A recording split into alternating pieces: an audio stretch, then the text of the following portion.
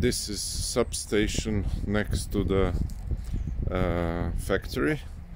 Uh, the capacity at the moment is 200 uh, they are using 120 but it uh, should be changed probably inside the the the trafo.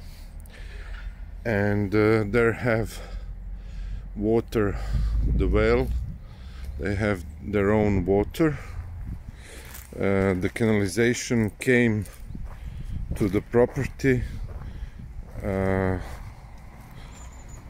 few months ago so it just should be connected because now they have the